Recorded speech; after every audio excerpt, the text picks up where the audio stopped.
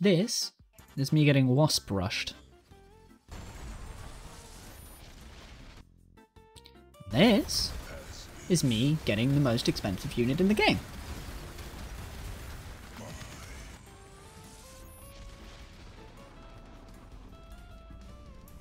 Every win is earned.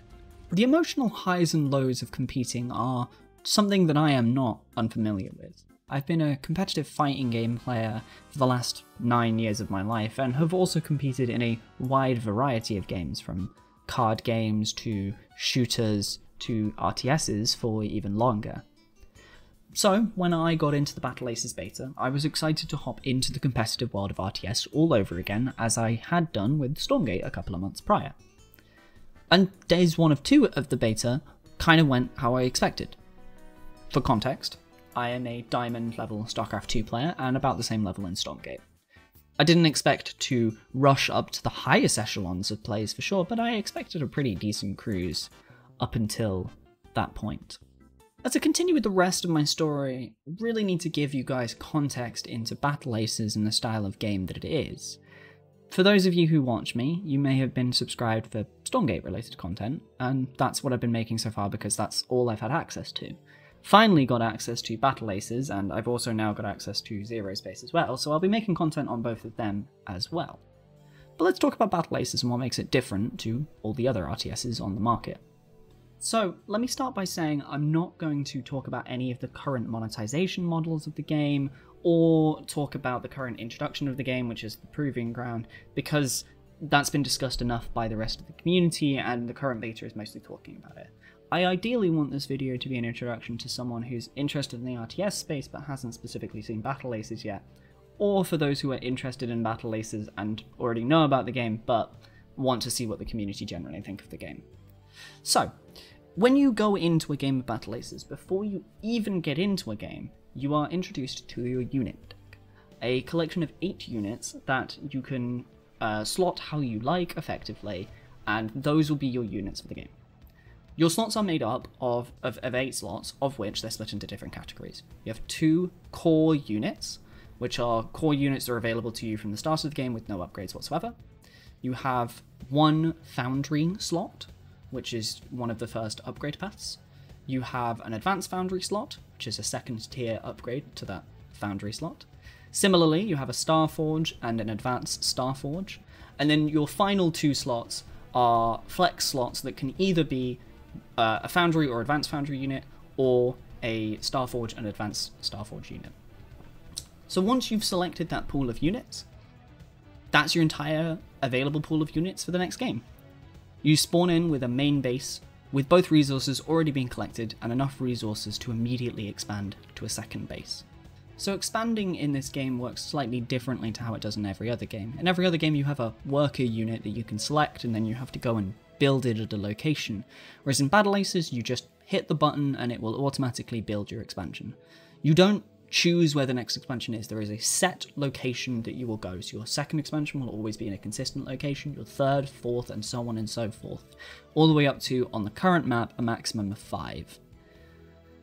You can spend resources in game on units, unlocking tech paths, or building expansions. And that's it. That is the entire game. It's simple, it's concise, just build units, build expansions, control better, and win. So back to my story with the last beta.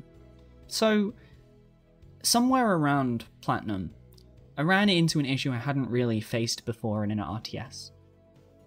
I really stopped enjoying the game. Now, hold with me here. Stay, stay, stay, stay. I can fear you if you're a Battle Aces fan going like, well, maybe you were just bad at the game, maybe you just liked it. No, no, no. Because I thought about that. I was like, is it just that I'm bad at the game? Because, yeah, okay, to a degree, I felt like I struggled in some games because I just didn't have the proper unit counters to face certain compositions. But the problem wasn't also just when I lost. Problem was when I won as well, I also didn't particularly feel like I was enjoying the game either. I started to wonder then if it was something about the game. Battle Aces is a highly boiled down version of an RTS, uh, with much more focus on controlling your units than the macro building of your base. And perhaps I just didn't enjoy that. I've spent many years playing StarCraft and Stormgate and all these other sorts of games, and I've learned all the little ins and outs that macro has and come to appreciate them. You know, things like SimCity, when to spend on research, when to spend on defenses, and how those minutiae changes that you can do at low level that might not make a difference at low level, but will make a significant difference at higher level. And perhaps having those facets missing was detracting from my experience. But, after thinking over it, no. I think that would be a gross misunderstanding and simplification of my problem. Don't get me wrong, I do think there's an aspect of that in my reasons for not particularly gelling with the game immediately, but I also think I came in with the wrong expectation on Battle Aces. I imagine actually that my critique here would be similar to a League of Legends player critiquing TFT for being too simplified. Now, for context, I really enjoy TFT. I also fucking hate League. I fucking despise League. I don't think League is a bad game, but I don't enjoy playing League of Legends at all in any way, shape, or form. TFT arguably removes all control over your units and severely reduces builds and creeps and all that sort of stuff. It just doesn't exist in TFT. But if you went into TFT expecting League of Legends, then of course you're going to be different, disappointed. It's a completely different game. Now, maybe that's a bit of an extreme comparison when comparing Battle Aces to all the other RTSs, because it is still fundamentally an RTS. But I still think it's a valid comparison to make. Battle Aces fundamentally cuts down on the innate complexity of a real time strategy, foregoing all this slow build up and macro, and jumps you straight into fighting and strategic maneuvering, and highly and heavily focuses on that. It doesn't have as much of the baggage that other RTSs would have, especially for new players, and it still adds something new and interesting with unit decks. And I think that that's a really important point and distinction to make that Battle Aces has both as a positive and also as a negative. Funnily enough, the fighting game community, at least in platform fighters, is experiencing a sort of similar problem. I play Smash Bros. Melee, a highly technical and complicated game. Think StarCraft 1 if you want comparisons. More recently, another game has started to take off, and that's Rivals of Aether and Rivals of Aether 2. Rivals of Aether 2 makes a lot of the technical things that were super difficult in StarCraft 1 or in Melee easier to do. And in allowing that to be the case, and allowing new players to get more accessibility to the game, a lot more players are able to enjoy the game in a new way and that's a good thing. But that nuance and difficulty, that slight intrinsic difficulty that was there before, now isn't there. So it's maybe not surprising that some melee players are finding it difficult to like Rivals Aether, or in fact dislike some of the decisions that have been made. Coming back to Battle Aces, the formula that it has, whilst simplified, seemed familiar enough to me, and my assumption was that I should just treat it like any other RTS.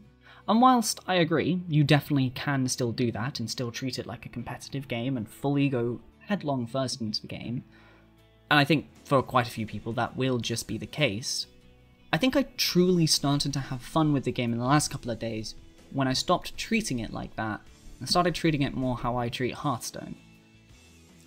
In Hearthstone, I don't try and grind for Legend. I don't enjoy playing competitive main mat decks. They're effective, but they're commonly just, at least to me, boring. I have much more fun trying to get a really fucking stupid thing to work, and I would rather lose 90 games and get it working once than do the more efficient thing, so to speak. And that's effectively what I started doing in Battle Aces. I started trying to run a Kraken build. For context, the Kraken is a 3000 cost unit, with 3000 normal resources red and 3000 blue resources electricity. 3000 blue resources is the equivalent of all four expansions going up twice, plus all of your research on one tech tree. That's a fucking lot. And I don't think I've mentioned this yet. Battle Aces games are limited, they only last 10 minutes uh, before you enter a sudden death mode, which only, only lasts, I think, another minute. So there's only 11 minutes in the game to even get this. So yeah, Krakens aren't easy to get. I lost a lot. A lot. But weirdly, I was having way more fun than I'd been having over the last couple of days when I was trying to take the game seriously by trying to get really something really stupid to work. And I think I finally clocked that that was the real fun that I was going to have with the game. Is it how everyone is going to play the game? And is it how I recommend everyone plays the game? No. But I think that's okay. I think it's great that a game like this, that has this accessibility, can be played in all these different ways. The simplification of the game and the focus on micro really allows an expression that is just unavailable in any other game. And as someone who's played fighting games a lot in my life and who has literally screamed at watching someone run up and grab six times in a row, I can appreciate that sort of interaction. But I don't think that's how I'm going to play this game. I originally sat down to make a video with the intention of just dumping my first impressions and first thoughts on the game. But weirdly, after three weeks of playing the game, Battle Aces has made me sort of reevaluate how I treat the games that I want to play, especially the RTS space. RTS for me has always been a competitive outlet, something that I have always enjoyed playing competitively and trying to compete and trying to improve and trying to get better. And I think it's a huge part of why myself as a person, I like learning and why I'm very willing to learn and why I play all these other games competitively. It's because I constantly want to get better, and the only way I get better is, well, someone's got to beat me. And if someone beats me, well, then I know what I can improve on for next time. But it was really interesting for me to come into a game for once, an RTS very specifically, and find that that wasn't really what I wanted to do. I wanted to just enjoy it and have fun and just sort of fuck around. And I think that's really great that Battle Aces has got that the Kraken isn't the only really, really stupid unit in the game. There are lots, and I'm sure I will make many and many a video on some of the dummiest shit I want to do in the game. I'm sitting here now thinking like, man, crabs are really funny, and king crabs are also really funny, and I wonder how many crabs I can build. I wonder if I could win an entire game with just crab. Like, how many crab could build crab? Crab, crab, crab. and I'm sure I will want to try all sorts of little fucky builds like that. And I'm super excited for that. I really, truly am. Battle Aces has a simplified formula, one that I didn't think I was going to enjoy as much as I ended up doing so at the end.